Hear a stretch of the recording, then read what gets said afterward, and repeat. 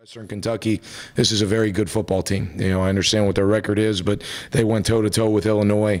Um, this is a powerful offense, as you guys know. Four major categories. They're ranked in the top 10.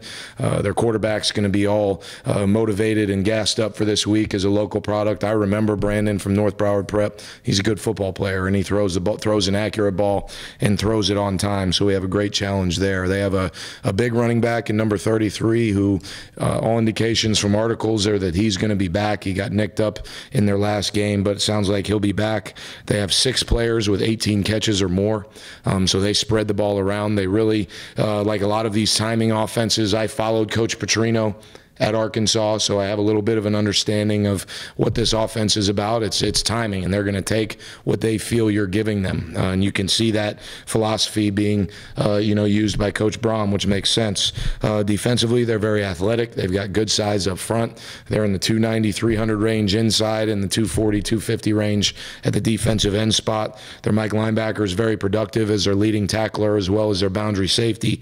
Uh, so they've got good players on that defense. They're very multiple which creates challenges. Um, three different fronts, three distinct fronts, uh, and three or four different coverages that they mix in a lot. So that creates some challenges that we look forward to.